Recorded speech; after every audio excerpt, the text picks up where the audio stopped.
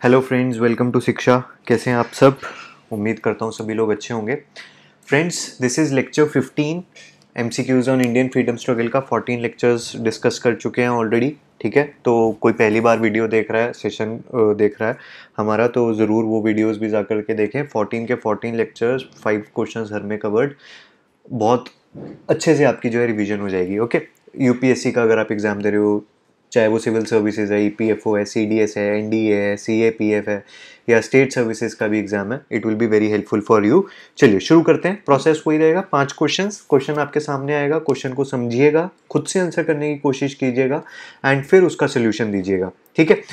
MCQ course जो बच्चे लेना चाहते हैं, वो ले सकते हैं, ठीक है? जो ई की स्पेसिफिकली तैयारी कर रहे हैं। गैप का ले सकते हो आप इंडस्ट्रियल लेबर लॉ का ले सकते हो सोशल सिक्योरिटी का ले सकते हो, या फिर कॉम्बो भी ले सकते हो okay this is a non video course and basically it covers your M on this subject और राइट चलिए। सपोर्ट के लिए कमेंट सेक्शन में कमेंट कर सकते हैं, या फिर आप व्हाट्सएप कर सकते हैं nine zero four one two double four six eight nine पर, या फिर मेल कीजिए Shikshit at the rate Gmail dot com पर। तो ये आ गया अब आपके सामने पहला सवाल। कंसिडर द फॉलोइंग स्टेटमेंट्स ठीक है जी? पहली स्टेटमेंट कहती है कि सैयद अहमद खान जो थे ये मेंबर थे इंपीरियल लेजिस्लेटिव काउंसिल के 1878 में मेंबर बने इंपीरियल लेजिस्लेटिव काउंसिल के। सैयद अहमद खान बहुत इंपॉर्टेंट टॉपिक है हमारे लिए। ठीक है?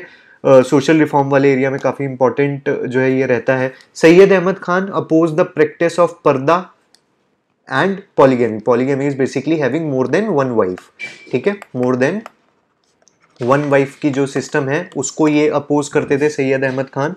Third statement is Syed Ahmed Khan propagated his ideas in the magazine named Tahzib ul Akhlaq. ठीक है? तो आपको अगर इनके मैगजीन का नाम पता है तो आपको पता होगा कि ये मैगजीन थी या नहीं थी। आपको बताना है कि इनमें से कौन सा स्टेटमेंट करेक्ट है in context of the founder of Aligarh university देखो, अब यहाँ पर इन्होंने ये नहीं लिखा कि फाउंडर की सैयद अहमद खान के बारे में स्टेटमेंट ठीक है या गलत है। इन्होंने स्पेसिफिकली मेंशन किया है कि क्या ये स्टेटमेंट फाउंडर ऑफ़ अलीगढ़ के कंटेक्स्ट में ठीक है। अब अगर आपको पता है कि फाउंडर ऑफ़ अलीगढ़ जो थे, वो कौन थे? वो सैयद अहमद खान ही थे। तो तो आप ठीक है, कोई कन्फ्यूज़न नहीं होगी, लेकिन अब कोई बच्चा वहाँ पर कन्फ्यूज़ हो जाए, उसको पता ही नहीं कि अलीगढ़ यूनिवर्सिटी के फाउंडर कौन थे। वो कहेगा कि ये फाउंडर थे भी या नहीं, उसके ऊपर बड़ा डिपेंड करेगा। अगर सैयद अहमद खान फाउंडर ही नहीं है तो फिर तो सारी स्टेटमेंट्स ऑटोमेटिकली गलत होगी। अपने को बतानी है करेक्ट स्टेटमेंट ऑप्शन हैं one and three one two and three two one and two only ठीक है अब देखो, ये सारी की सारी स्टेटमेंट्स जनरली बच्चे अगर सैयद अहमद खान से रिलेटेड क्वेश्चन एक्सपेक्ट करते हैं तो वो ये सोचते हैं कि स्टेटमेंट एक ये रहेगा कि Aligarh university was founded by Syed Ahmed Khan. ये तो बहुत बेसिक सा स्टेटमेंट है, बहुत ईजी सा स्टेटमेंट है। हर बच्चे को पता है, जिसने थोड़ी सी भी हिस्ट्री पढ़ी है, कि भाई अलीगढ़ यूनिवर्सिटी के फाउंडर कौन थे? सैयद साहब थे। और राइट ये तो अपने को पता है। लेकिन ये जो तीन स्टेटमेंट्स दी गई हैं, ये थोड़ी सी अनएक्सपेक्टेड जो इग्नोर्ड एरियाज़ रहते हैं, वो है, और यूपीएससी इन्हीं में से सवाल पूछता है। तो पहला स्टेटमेंट इंपीरियल लेजिस्लेटिव काउंसिल के मेंबर बने थे, बिल्कुल बने थे जी। और 1878 में बने थे, बिल्कुल ठीक है। पहला स्टेटमेंट एकदम सही है। दूसरे स्टेटमेंट में बच्चे कंफ्यूज हो जाते हैं कि क्या he was a orthodox social reformer जैसे हमने पहले जो मूवमेंट्स देखी लेक्चर 14 में भी हमने देखा। उसमें क्या था? ज़्यादातर जो इस्लामिक मूवमेंट्स थी they were talking about going back to the times of prophet Mohammad Islam के जो बिल्कुल बेसिक्स थे वो वहाँ पर जाना चाह रहे थे। तो क्या सैयद अहमद खान भी इस चीज़ को प्रमोट कर रहे थे? नहीं सैयद अहमद खान जो थे ये एक मॉडर्न सोशल रिफॉर्मर थे। ये चाहते थे कि मॉडर्निटी जो है वो इस्लाम के अंदर आए। ओके सो सेकेंड स्टेटमेंट भी बिल्कुल सही है पर्दा और uh, जो पॉलीगेमी था इसको अपोज करते थे ये among the Muslims and the third statement is also correct factual statement है बिल्कुल सही स्टेटमेंट है। जो सैयद अहमद खान थे ये अपने आइडियाज़ किस एक मैगजीन ये निकाला करते थे जिसका नाम था तहदी तहदीब हक ओके? तो आंसर हो जाएगा यहाँ पर आपका ऑप्शन बी। चलिए सैयद अहमद खान के बारे में अब थोड़ा सा पढ़ लेते हैं, ताकि अपने को कोई क्वेश्चन आ जाए तो वो हम अच्छे से कर लें। मुस्लिम फैमिली में जन्म हुआ था लॉयलिस्ट मेंबर थे जुडिशियल सर्विसेज़ का पार्ट थे ब्रिटिश सरकार के। ब्रिटिशर्स को सपोर्ट किया करते थे। 1876 में रिटायर हुए, उसके बाद 1878 में इन्होंने इंपीरियल लेजिस्लेटिव काउंसिल को ज्वाइन कर लिया एंड इनको नाइटहुड भी दिया था अंग्रेज़ सरकार ने 1888 में। ओके वेस्टर्न साइंटिफिक एजुकेशन को रिकनसाइल करना चाहते थे कुरान के साथ। ये क्या कहते थे? ये ये भी नहीं कह रहे थे कि मुस्लिम्स को कि कंटिन्यू कंप्लीटली आप अपने रिलीजन को फॉरगेट कर जाओ कंप्लीटली अपने रिलीजन को भूल जाओ।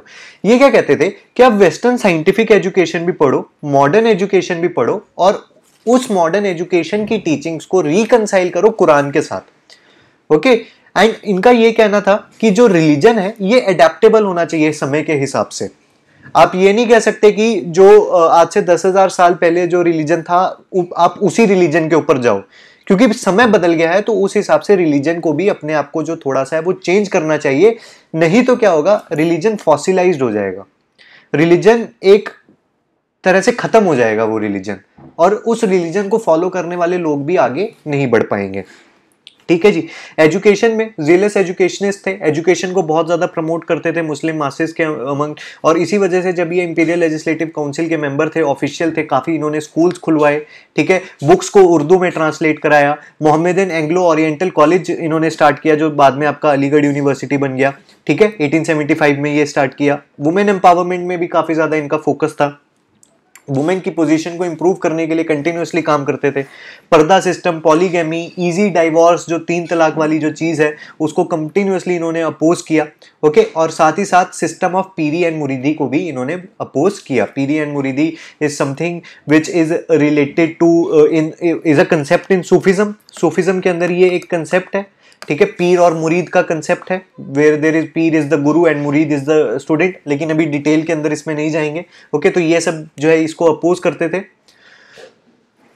अब सैयद अहमद खान का जो व्यू है कि मुस्लिम्स को क्या पॉलिटिक्स में पार्टिसिपेट करना चाहिए। अब देखो later half of the nineteen century में कांग्रेस जैसी पार्टीज़ इमर्ज हो रही थी, ठीक है, और भी बहुत सारी पॉलिटिकल एसोसिएशंस बन रही थी।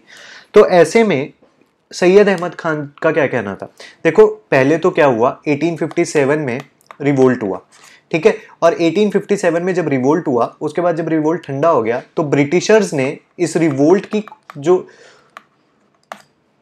कंट्रोवर्सी थी, ब्रिटिशर्स ने कहा that this was a controversy created by Muslim rulers ठीक है? ब्रिटिशर्स ने क्या कहा कि मुस्लिम रूलर्स ने मुस्लिम नोबिलिटी ने ये जो रिवोल्ट है, इसको हवा दी है। और इसी वजह से जो पॉलिसीज़ थी ब्रिटिशर्स की that was to support the other religions specifically Hindus और मुस्लिम्स को इग्नोर करना शुरू कर दिया ब्रिटिशर्स ने अपनी पॉलिसीज़ में which ultimately became the reason for the backwardness of Muslims तो सैयद अहमद खान साहब का क्या कहना था? कि मुस्लिम्स को सबसे पहले कंसंट्रेट करना चाहिए पढ़ाई के ऊपर एजुकेशन के ऊपर। एक सेकेंड रुकिएगा। इसको थोड़ा यहाँ से आपके लिए साफ़ कर देते हैं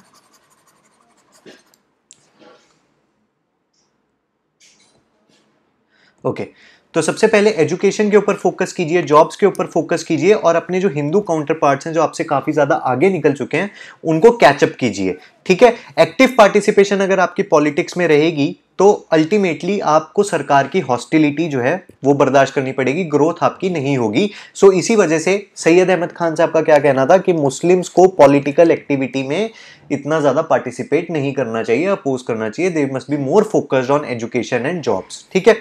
और जो भी सैयद अहमद साहब के जो व्यूज़ थे जो भी सोशल आइडियाज़ थे ये अपनी मैगजीन के थ्रू प्रोपोगेट किया करते थे जिसका नाम था तहदीब उल अखलाक।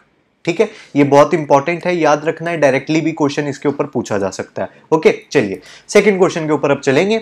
सेकंड क्वेश्चन कहता है कि आपको कुछ स्टेटमेंट्स दी जाएँगी in context of the political organisations जो पॉलिटिकल ऑर्गेनाइजेशंस फॉर्म हुई फ़र्स्ट हाफ़ में नाइनटीन सेंचुरी की, उनके कंटेक्स्ट में कुछ स्टेटमेंट्स हैं यहाँ पर। आपको बताना है कि इनमें से कौन सा स्टेटमेंट जो है वो इनकरेक्ट है। आपको बताना है कौन सा स्टेटमेंट इनकरेक्ट है।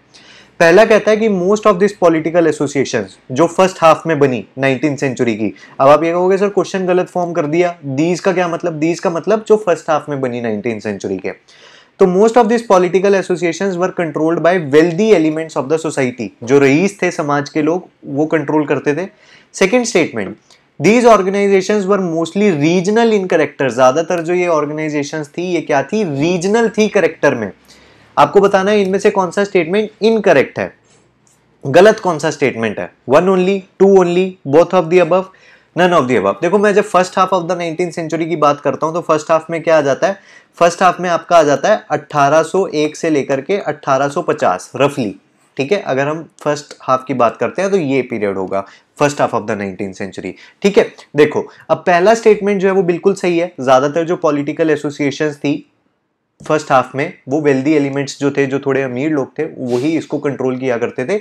और ये जो ऑर्गेनाइजेशंस थी, ये नेशनल लेवल की ऑर्गेनाइजेशंस नहीं थी। देखो नेशनल लेवल की ऑर्गेनाइजेशंस प्रोमिनेंस में आएँगी सेकंड हाफ़ में।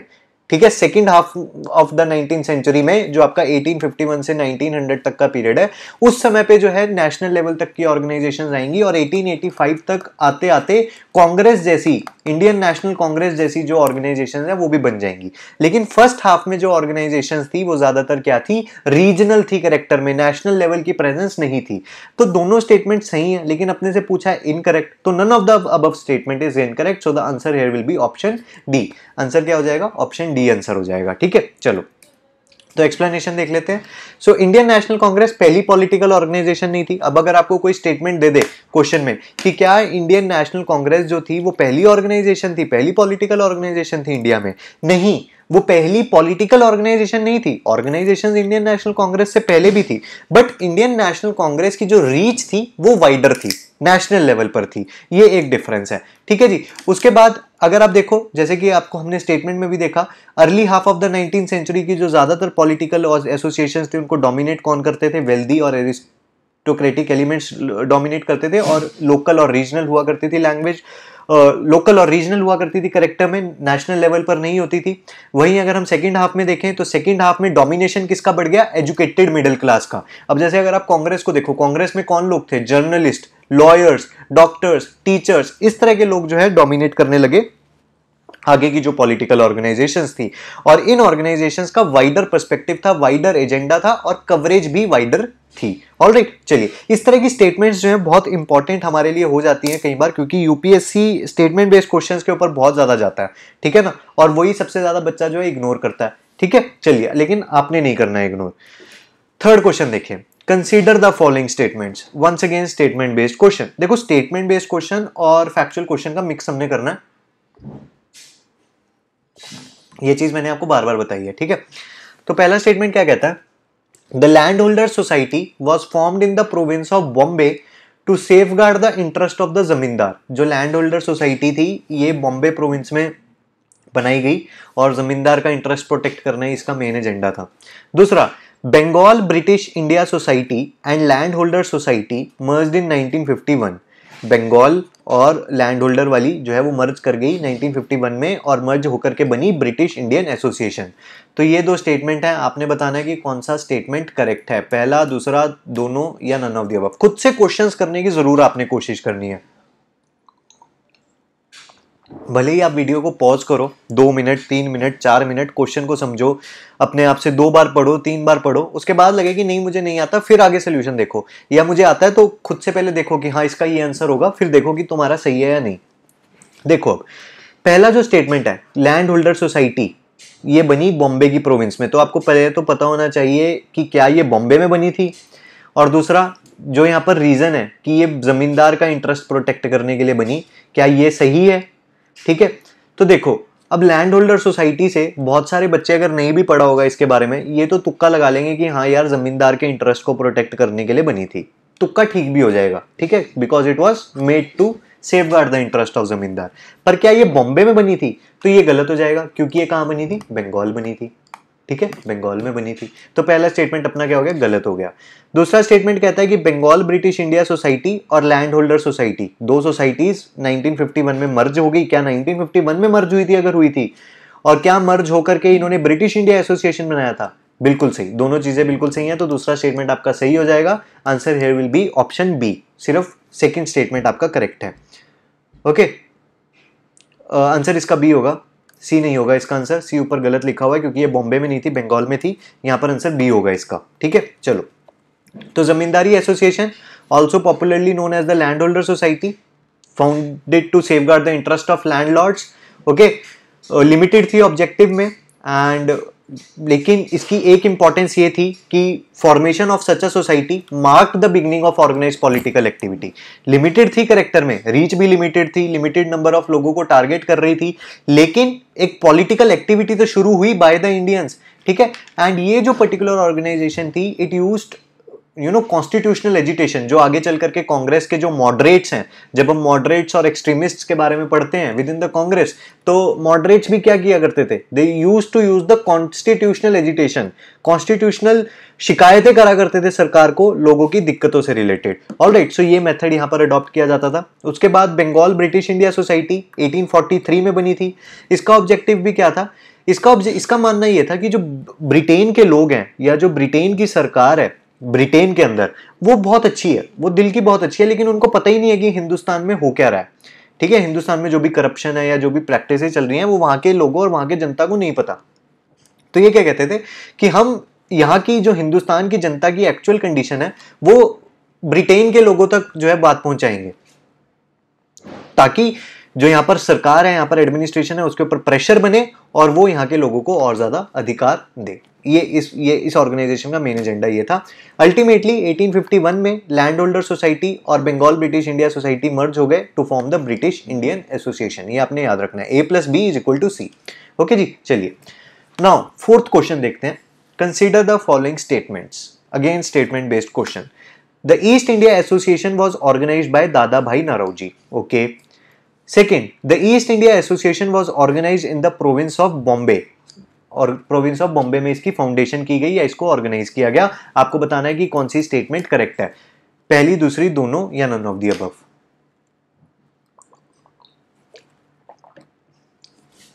अब आप ये ना सोचेंगे, सर ईपीएफओ में तो फैक्चुअल क्वेश्चन आते हैं एबीसीडी वाले, सीधा स्टेटमेंट बेस पूछे जा रहे हो आप, इस वीडियो में अपने सारे स्टेटमेंट बेस पूछ लिए। तो देखो स्टेटमेंट बेस अगर क्वेश्चन करने आ जाएँगे ना फैक्चुअल अपने आप हो जाएँगे।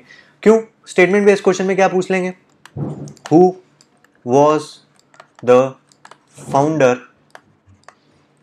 of Dadabhai Naoroji oh sorry sorry sorry East India association factual सवाल? नीचे चार ऑप्शन चार बंदों के नाम दे देंगे। फैक्चुअल हो गया। ठीक है? यह सवाल पूछ लेंगे। Where was the East India association short में लिख रहा हूँ इसको E I A where was the East India association founded कहाँ पे इसकी फाउंडेशन हुई थी? चार जगहों के नाम दे देंगे। फैक्चुअल क्वेश्चन हो गया डायरेक्ट क्वेश्चन ठीक है? तो क्वेश्चन तो स्टेटमेंट बेस्ड वाले अगर आप कर रहे हो तो आपकी वाइडर कवरेज हो रही है, उसमें आपके मल्टीपल क्वेश्चंस कवर हो जाते हैं। इसी वजह से भी स्टेटमेंट बेस्ड क्वेश्चंस को लेकर के आता हूँ मैं, ठीक है? चलो तो पहला स्टेटमेंट तो देखो बिल्कुल ठीक है। दादा भाई नरोजी इसके फाउंडर थे। दूसरा स्टेटमेंट गलत है क्योंकि ये ऑर्गेनाइज कहाँ पे की गई थी? लंडन में। हाल, हालाँकि बाद में इसके इंडिया में भी ऑफ़िस खोले गए। इंडिया की डिफरेंट प्रोविंसेस में भी ऑफ़िस खोले गए, पर फाउंडेशन कहाँ पर हुई थी? ऑर्गेनाइज कहाँ पर हुई थी? वह हुई थी लंदन में। तो आंसर यहाँ पर क्या हो जाएगा? ऑप्शन ए वन ओनली ठीक है? इसका भी आंसर जो है यहाँ पर गलत लिखा हुआ है। ए आंसर होगा इसका। वन ओनली आंसर होगा। ओके चलो। So the East India association was organised by Dadabhai Naoroji in 1866 in London and agenda क्या था इसका? To discuss the Indian question और वहाँ की पब्लिक को ये इन्फ्लुएंस करना चाहते थे, ताकि इंग्लैंड की सरकार के ऊपर प्रेशर बने टू प्रमोट इंडियन वेलफेयर ठीक है? लंदन में ऑफ़िस खुलने के बाद, कुछ समय बाद, बाकी इंडियन सिटीज़ में भी प्रोमिनेंट इंडियन सिटीज़ में भी इसकी ब्रांचेज जो है, वो खोली गई थी, लेकिन फाउंडेशन कहाँ हुई थी? लंडन में हुई थी। ओके चलिए। Now moving to the last question of this particular video Indian league को किसने स्टार्ट किया था? 1875 में। Indian league was started by whom in 1875 option A Sisir Kumar Ghosh option B Surendranath Banerjee option C Anand Mohan Bose and option D is none of the above बताइए। चलिए, जल्दी से इस क्वेश्चन को answer करने की कोशिश कीजिए कि इंडियन लीग अब देखो ये फैक्चुअल क्वेश्चन है, ठीक है? इसको मैं स्टेटमेंट बेस में भी पूछ सकता था। ठीक है? स्टेटमेंट बेस में आ जाएगा तो वो दो तीन स्टेटमेंट्स आ जाएँगी। लेकिन अल्टीमेटली तैयारी अपनी दोनों तरीके से हम लेकर के चलते हैं। Okay answer here will be option A Sisir Kumar Ghosh okay so Indian league was started in 1875 by Sushir Kumar Ghosh with the object of stimulating the sense of nationalism लोगों के अंदर देशभक्ति जगाने के लिए और पॉलिटिकल एजुकेशन को encourage करने के लिए इंडिया में ये पर्टिकुलर ऑर्गेनाइजेशन जो है इसको स्टार्ट किया गया था। ओके okay, चलिए। सो ऑल राइट दोस्तों, यहाँ पर हमारे पाँच क्वेश्चन जो है वो कवर हो जाते हैं। फिर भी किसी को कोई डाउट है, किसी को लगता है कि सर कोई चीज़ गलत बता दी है तो आप उसको कमेंट सेक्शन में पोस्ट करिए, ठीक है? या फिर आप व्हाट्सएप कीजिए nine zero four one two double four six eight nine पर, या फिर आप मेल कीजिए Shikshit at the rate Gmail dot com पर। ऑल राइट चलिए। सो ऑल राइट गाइस मिलेंगे अगली वीडियो में। तब तक के लिए all the best stay safe be healthy bye